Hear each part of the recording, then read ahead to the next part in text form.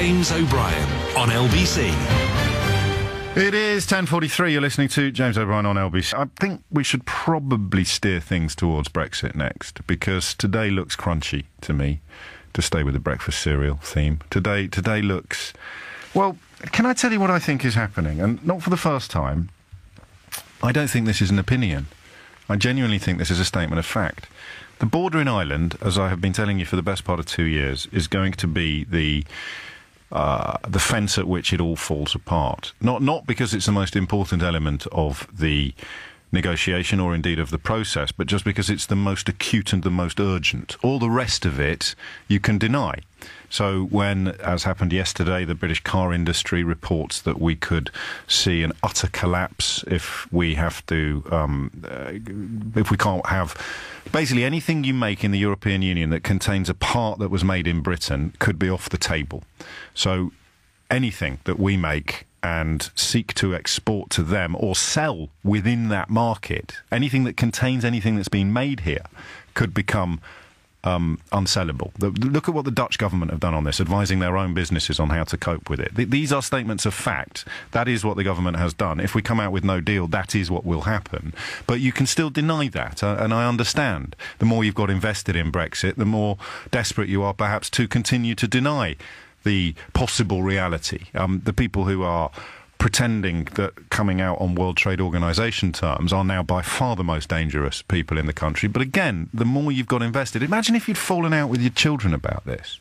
Imagine if you'd fallen out with your partner. Imagine if you'd fallen out with your colleagues. You've got the radio on at work and you're looking at each other and, and, and you're, you have to still be the bloke that backs Brexit because the humiliation of admitting you were wrong is, is, is going to be immense. It's going to be epic.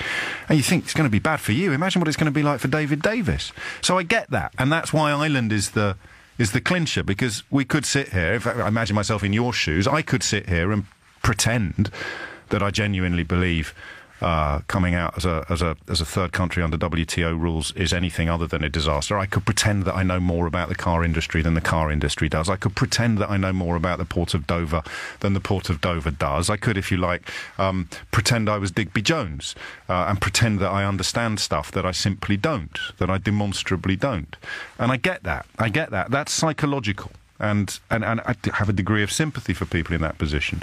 But what Ireland has always represented is the point at which the politics becomes pure, not psychological. It doesn't matter what you think or believe or hope, when it comes down to the tension between single market integrity and the Good Friday Agreement, everything falls to pieces. It, it, it was always going to, and it, and it always will unless, and this is the one tiny element of debate left, unless you want to claim that there is some magical solution to frictionless trade that hasn't yet been invented but will be soon. And that is where we are today, because that's the only way in which you can hold on to the idea that this could still be pulled off without, um, without crashing out with no deal and, and watching the country wither on the vine. The only way in which you could pretend it's still doable is by punting the notion or subscribing to the belief that there is a, I don't want to say magic, but it is an as yet uninvented way in which you can have no hard border and frictionless trade. Okay? Despite having a border between two separate customs unions, the one that we're going to be in on our own and the one that the European Union is currently in. So you can just about cling to that idea, that theory, but it's a theory. And what the European Union and the British government agreed last year was that we will have to have a backstop in place until you can tell me what that as yet uninvented. I mean, this this is where I get a little bit. Um, almost a bit trippy, to be honest with you, because it's so blindingly obvious what I'm saying. It's so unerringly simple. It's so undeniably true. This is history that I'm relating to you now. And yet the Secretary of State for the European Union, for leaving the European Union, apparently still doesn't understand it. The only thing simpler than what I'm explaining now, arguably, is David Davis. But I don't think he's stupid. I think he's incredibly lazy. I can only presume that he doesn't understand it because he hasn't tried to. So what he agreed without realizing it last year was that the backstop would involve the border moving to the Irish Sea in the absence of a solution. Now, there is currently no solution. So Theresa May can't put a date on when the as yet uninvented solution will be in place. Theresa May cannot say to the European Union, we will end the transition period or we will end the backstop arrangement on the 12th of June 2022 until she can tell them what is going to be in place on the 13th of June 2022. Do you see? I, look, I, I should, in the interest of arrogance, actually, I should say that if I am getting this wrong, then do feel free to explain it to me. But as I understand it, you cannot put a date, an expiry date, on any of this until you can tell both sides, i.e., our own government, our own people get told, and the Irish people, the European Union gets told, what's going to be there the minute the expiry date arrives. So this backstop will only last until the 12th of June 2022. I've made that date up, by the way. You can't sell that. You cannot have that as a negotiating position if you can't tell everybody what happens on the 13th of June 2022. Now, to me, that is about as close to clarity as I can contemplate. I can't think of anything clearer than that. And yet, if I've understood the tension between David Davis and Theresa May today, they are at loggerheads over her refusal to put a date on something, a refusal that is entirely contingent upon the fact that they don't know what will be there the next day. So David Davis is saying that the government's negotiating position should be we're going to leave on June the X 2022 without being able to tell you what's going to be there on June the X plus 1 2022. And that's just nuts, right? Everyone can see that that's nuts. This isn't opinion. I don't think this is opinion. This surely is just fact. If you enter into any form of contract with anybody, you would be expected to tell them what happens when the contract ends. So the whole negotiation process is built upon the uh, desire, under the terms of the Good Friday Agreement, arguably the absolute constitutional and political necessity to have identical trading conditions on both sides of the Irish border. What David Davis should have been doing and should have done during the course of the last two years is explain and come up with a plan for achieving that. Isn't that his job? If he's Secretary of State for leaving the European Union, isn't his job to establish the circumstances in which it can be done?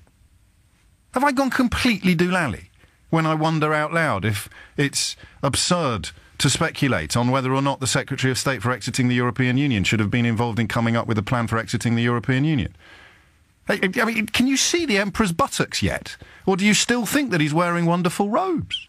The Secretary of State for exiting the European Union today is protesting about his own failure to come up with a plan for exiting the European Union. And he's blaming it on Theresa May. Because what Theresa May won't do is stick a date on it, after which she can't tell anyone what will happen. This is what our country looks like now, from the outside. And yes, doff cap, tug forelock, speak nonsense, vote Rees-Mogg. You'll still have people claiming that we will sail off into the seven seas under World Trade Organization rules that none of them understand. Speak to old Kieran, the van driver, tooling his way to Brussels and back every single day with a much, much, much deeper understanding of what that trade and that journey involves than anybody in the cabinet, whether they're Leaver, Remainer, or somewhere in between. So what is David Davis doing? That's the question I'd like you to answer for me today. How can the Secretary of State for the exiting of the European Union somehow think that he has a point of principle upon which he could be poised to resign? I was hearing 50 50 before we came on air this morning. That seems to anybody sensible to be built upon the fact that the Secretary of State for exiting the European Union has failed to come up with a plan for exiting the European Union. What's David Davis doing?